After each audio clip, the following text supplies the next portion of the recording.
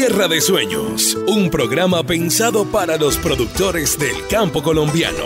Tierra de Sueños. Con Yanelda Jaimes, lunes a viernes, desde las 4 de la mañana, por RCN Radio, 24 horas de programación en vivo.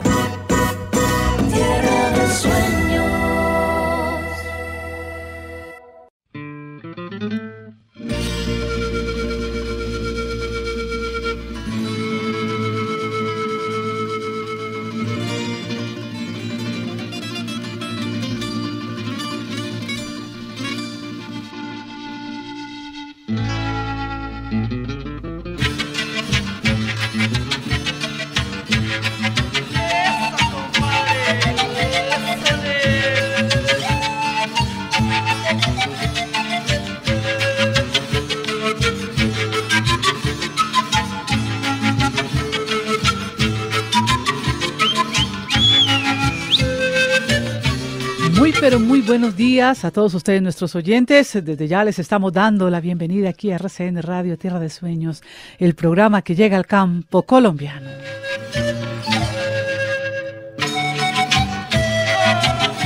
Bien, escuchen ustedes este popurrí criollo de alas fugaces. Hoy tenemos un invitado muy especial y es la academia como tal, la Universidad Nacional, con una importante iniciativa para cambiar el manejo agronómico de la semilla de la piña golden, que es una piña tipo exportación colombiana. Ellos están buscando como esa segunda generación, es apropiar estos cultivos en zonas de ladera donde particularmente es muy, muy difícil eh, sembrar piña. Están con esta iniciativa para ayudar precisamente a todas estas familias campesinas en estas zonas de ladera para que también puedan sembrar piña golden. Bien, les recordamos eh, que este programa cuenta con el apoyo de la Agencia de Estados Unidos para el Desarrollo Internacional, USAID. Sean todos bienvenidos.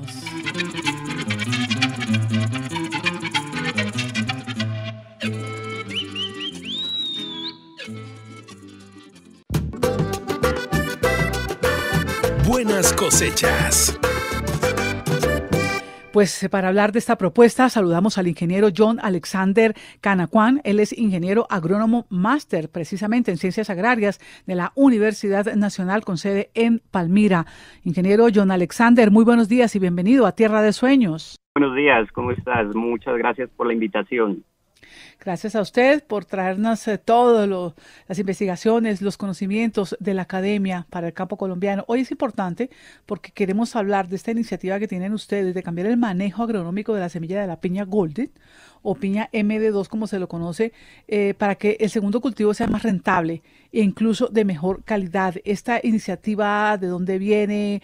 ¿Cuál es la idea y cómo se podría eh, cristalizar? Esta iniciativa viene de, identificar primeramente unas brechas tecnológicas en el cultivo de piña que se vienen presentando pues principalmente en, en las zonas de ladera, por acá en el Valle del Cauca es donde se está haciendo la investigación y pues con el ánimo de mejorar la rentabilidad para pequeños y medianos agricultores eh, se quiere fomentar el, el, manejo de la segunda cosecha para que el agricultor se vuelva más competitivo y pues sea como más rentable el cultivo de piña. Es comenzar prácticamente de cero, no es volver a reempezar, a, a dar instrucciones, a orientar en materia agronómica eh, para cambiar esta parte de la semilla de la piña golden, ¿sí? Es lo que se entiende. Sí, eh, más que un cambio es un fomento en, en, en, empezar a practicar el manejo de la segunda cosecha, ya que no hay una investigación o no hay metodologías que hablen de este, de este proceso. Entonces la idea es hacer una investigación científica de, cómo se puede hacer un manejo en, en, segunda cosecha y para que los agricultores puedan tener acceso y la, la empiecen a implementar en sus cultivos que ya ellos están sembrando en primeras cosechas. Es como continuar un segundo proceso en sus cultivos. Claro. ¿Gastos adicionales quizá que implique este, este proceso, esta nueva, este cambio, como lo dice usted?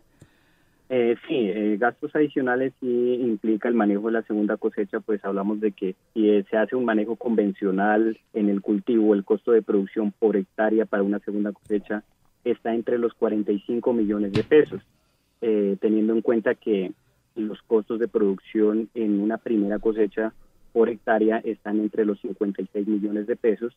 Entonces es un 20% de, de gastos menores que implican la primera cosecha. Entonces hablamos de unos 11 millones alrededor de lo que se ahorra hacer un, un manejo de segunda cosecha comparado con la primera cosecha, ya que el agricultor empieza desde un cultivo ya establecido donde no tiene que volver a hacer el trabajo de establecimiento, preparación de terrenos o compra de semillas, sino que ya el agricultor arranca con su cultivo establecido para hacer una segunda cosecha.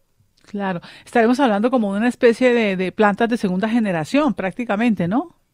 Sí, sí, es trabajar con, con los retoños, con los hijos de la planta madre, darles el manejo y estos hijos se encargan de dar una segunda fruta. Sí, es como el segundo ciclo del cultivo. Claro. Actualmente la piña golden es tipo, tipo exportación, es una de las quizás más apetecidas en algunas regiones del mundo. Esta, y con estos cuidados especiales y esta iniciativa suya, este cambio eh, que proponen para cambiar este cultivo de piña, ¿conserva las mismas cualidades? Sí, conserva las, las mismas cualidades de calidad siempre y cuando se le haga el, el debido manejo de fertilización, de, manejo cultural. Entonces, eh, la piña en, en, cuanto a calidad, ella no, no varía eh, tanto de primera como segunda cosecha, ella siempre mantiene sus, sus calidades organolépticas, sus contenidos de grados Brix, al igual que la primera cosecha. De pronto se ve afectado un poco el, el peso o el rendimiento, pero para eso se hace como los planes de fertilización, ajustados análisis foliares en segunda cosecha, como para eh, completar esta, estas deficiencias de pronto en segunda cosecha y poder sacar una fruta de calidad. Eh, le iba a preguntar sobre eso, sobre el peso, por ejemplo, en cuanto a toneladas y, demás. Eh, con esta nueva, digamos, piña generación, esta piña golden que ustedes piensan cambiarla de esta manera, también se cultiva el mismo número de hectáreas, la misma, el mismo peso para cada piña, para, para que tengan esas mismas cualidades.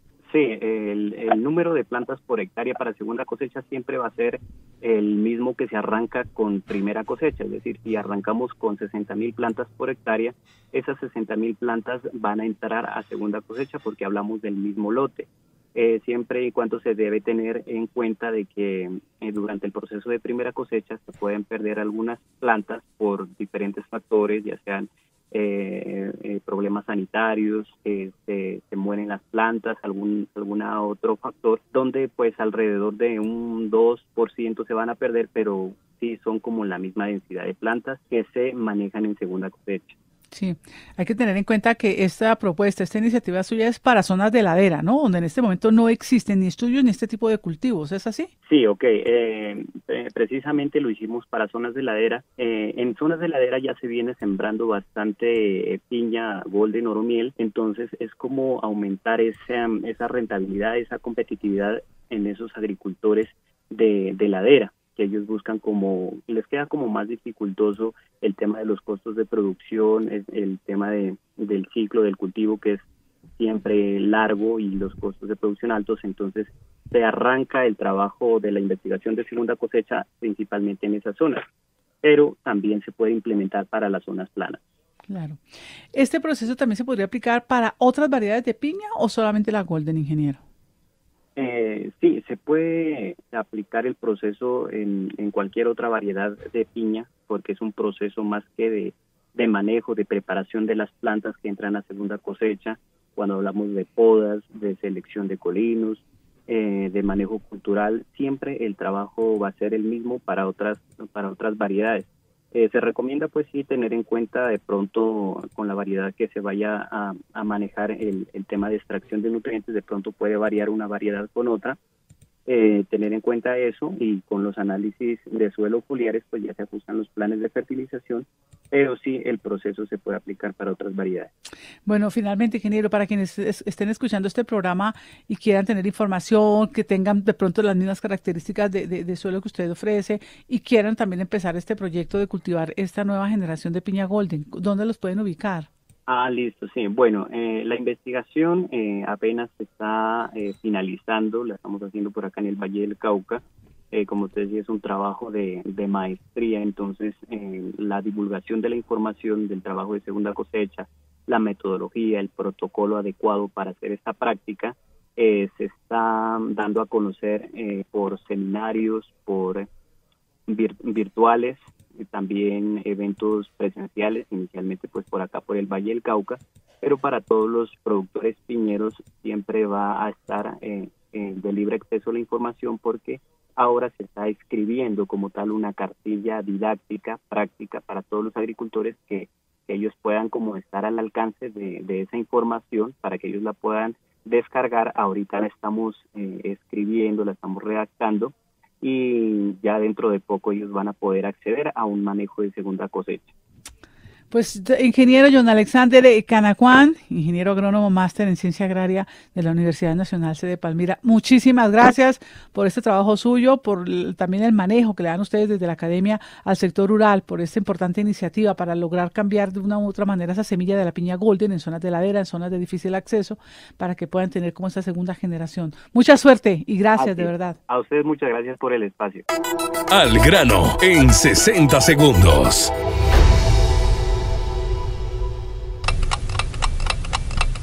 En 60 segundos les contamos que cambiar el manejo agronómico de la semilla de la piña Golden o piña MD2 para que el segundo cultivo sea más rentable y de mejor calidad, esa es la propuesta de John Alexander Canacuán, candidato a Magister en la Universidad Nacional sede Palmira.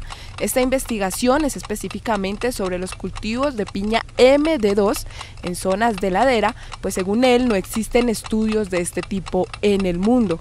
El cultivo en zonas de ladera es particularmente difícil y no todos los cultivos son aptos para estas zonas por su pendiente y la importancia de estas áreas para los territorios montañosos. Puntualmente el cambio que propone Canacuán radica en la forma en que empieza el segundo cultivo. Tradicionalmente, después de la cosecha, el productor debe preparar nuevo cultivo y sembrar nuevamente. La propuesta del investigador es cambiar ese proceso permitiendo que la planta madre permanezca en el terreno y que sean los retoños los que darán el nuevo cultivo.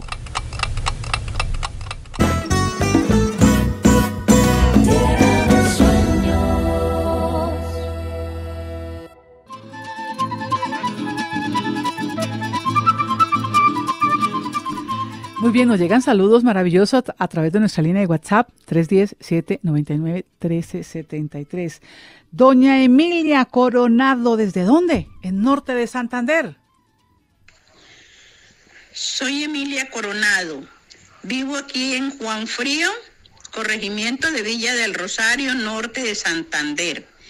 Mi deseo es esta pequeña copla que se me vino a la mente de un momento a otro. Qué bonito es escuchar la palabra tierra de sueños. Suena también a tierra de paz, con la que todos los colombianos debíamos de soñar. ¿Y por qué no realizar? Si nuestra Colombia es bella, productiva, a pesar de tantas cosas que Colombia ha sufrido, todavía seguimos con vida y comiendo y lo que ella está produciendo. Ay, doña Emilia Coronado, desde Juan Frío, allí en norte de Santander. Gracias por esa hermosísima copla, ¿sí? Tierra de sueños también es tierra de paz. Así como doña Emilia, ustedes también nos pueden escribir aquí a Tierra de Sueños.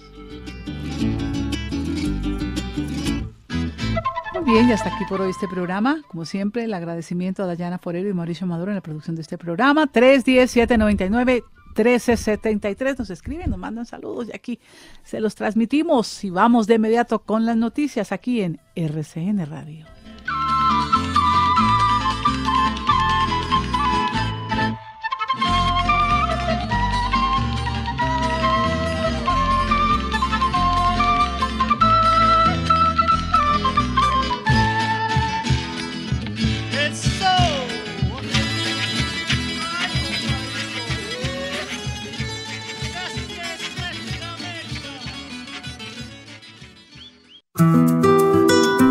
Tierra de Sueños, un programa pensado para los productores del campo colombiano. Tierra de Sueños. Con Janelda Jaimes, lunes a viernes, desde las 4 de la mañana, por RCN Radio. 24 horas de programación en vivo.